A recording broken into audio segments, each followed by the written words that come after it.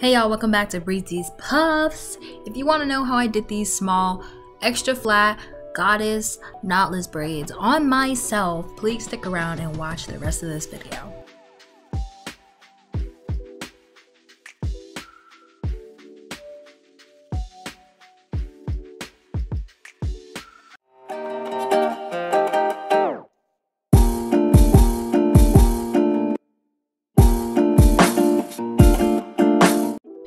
Alright, so I'm starting off with blow dry hair that I actually blow dried the night before, but as you can see, it got a little bit messed up, so I ended up re-blow drying it. Um, I will put a link to where I got this blow dryer from if you are interested. Alright, so what you will need is a rat tail comb. I like to use the one with the metal tip, some clips for separating, and some ponytails as well. This is my setup. I like to have a mirror behind me and a mirror in front of me so that I can see the back of my head. It really helps with parting. So this is basically how I start off parting for small braids.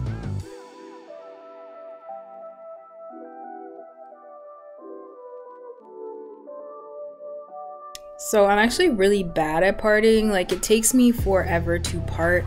Um so the way that I kind of like combat this is basically by like I said again having that mirror behind me and in front of me to kind of see what I'm doing and then using some edge control um, on my part as well to help with the parting.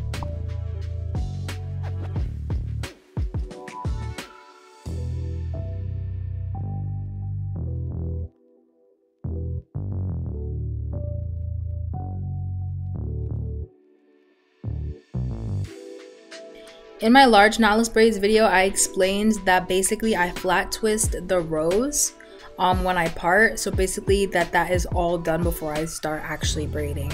For me, it's just easier and I don't have to worry about parting all throughout doing my hair.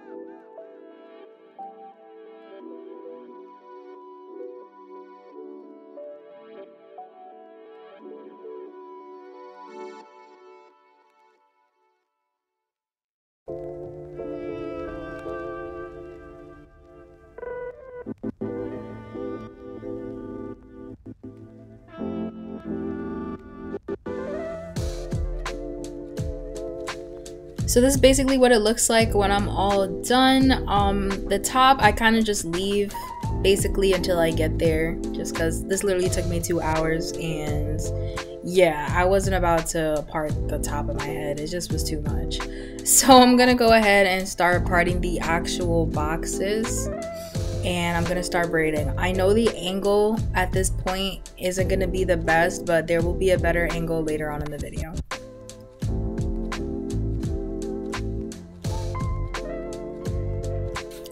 You want to start off by using edge control all around basically the root of the braid.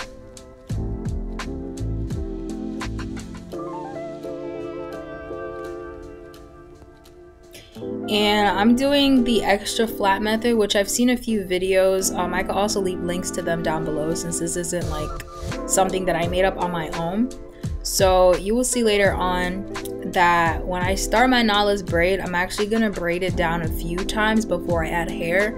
And I'm also adding less hair. The reason I'm doing this method is because basically like, it's basically lighter on your head and it's a lot flatter. Being in the military, like making buns and stuff, it's really hard when you got big ass braids on your head. So these are really good if you're trying to go for that flat look.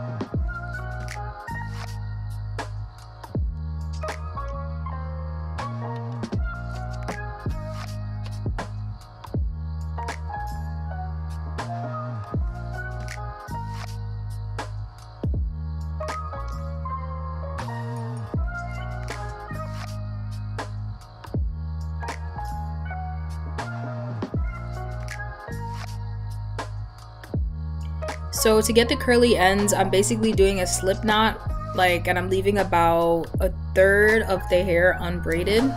And I will show you how to do that slip knot later on in the video. So I'm about halfway done my head at this point. Well, not half, but a good amount done. And I'm going to show you a different angle of how I actually do these braids. Again, it's still not the perfect angle. I'm still trying to work it out. So leave a comment down below if you want an even more detailed, closer up angles video on how to add the hair.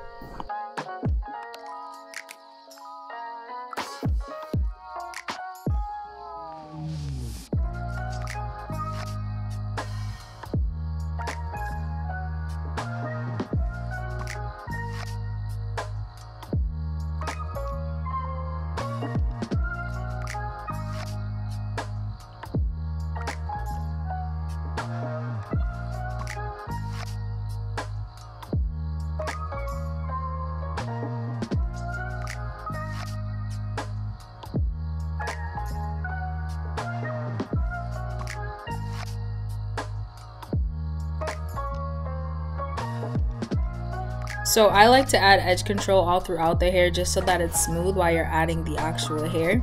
I'm going to go ahead and start with three sections like a regular braid and like I said before you're just going to braid your natural hair down about I don't know I would say about like three to four inches and then you'll start adding the hair.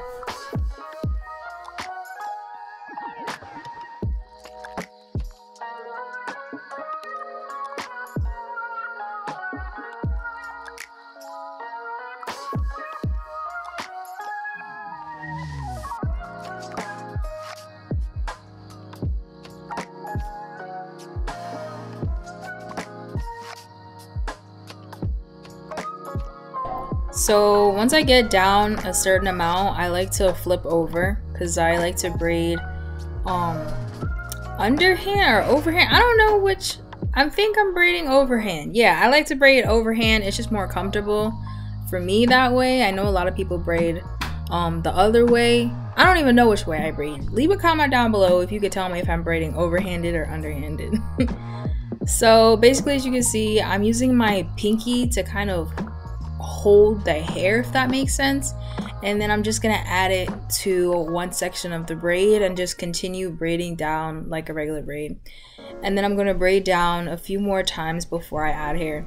If I was doing doing normal knotless braids I would be adding hair every single braid if that makes sense like every single time that I make a braid but because these are the extra thin ones I'm only adding it sporadically throughout the braid in order to keep the width of the braid the same all throughout the braid.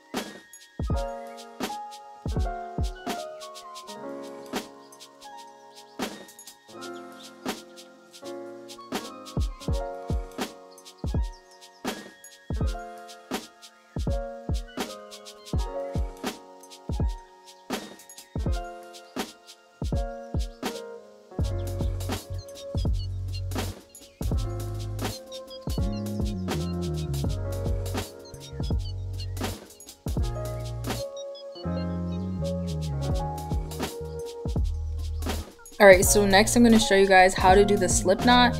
You want to take a really, really, really thin piece of hair because if you take a piece that's too thick, the knots are super visible and it doesn't really look that great. So again, you just take a really skinny piece and what you're going to do is you're basically going to take that piece, wrap it around the entire braid, and then take the end of the piece and put it through that hole right there.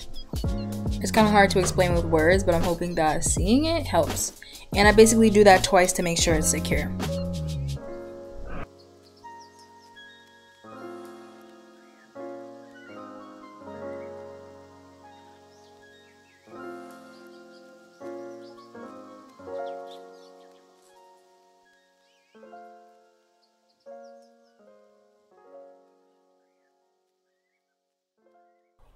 Once you're done, you're going to take your braids and put them into two bigger braids you could do more or less braids depending on how curly you wanted it. Um, I really just wanted to be like wavy, like a beach wave, so I just did two braids. And then you're going to dip that in some boiling water and then dry it off with a towel.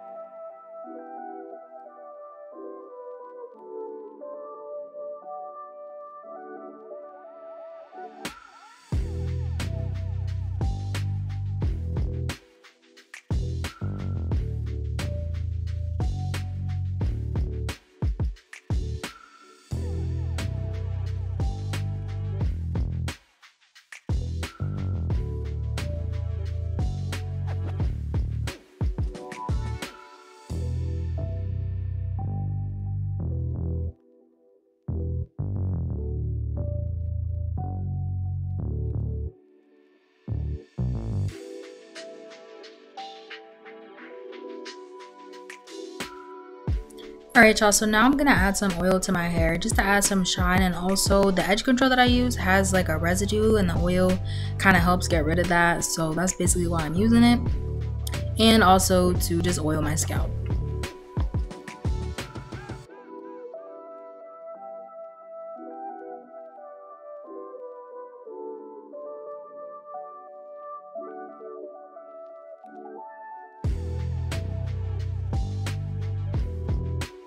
So these are my final results y'all. I absolutely love it. This is my first time doing my hair like this and it came out really really good. Um in total it took me two days so this is something you could get done in a weekend. Um i think the first day i started like 7.30, but like i said it took me two hours to part and then i started braiding and I think I ended around like six or something like that. And then the second day, I think I started a little bit earlier and ended around like like 7:30 or so. So this is definitely something you get done in a weekend. Um, if you braid faster, then you might be able to get done quicker than me. I also took a few breaks as well.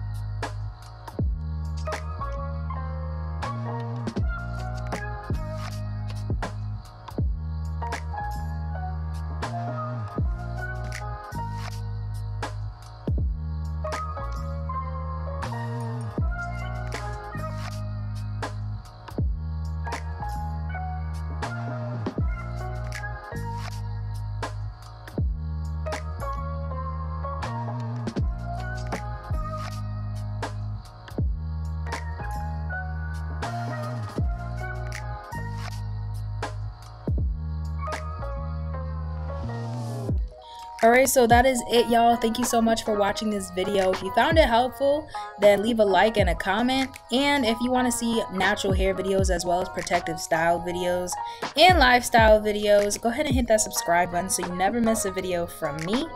And I will see you guys in the next video.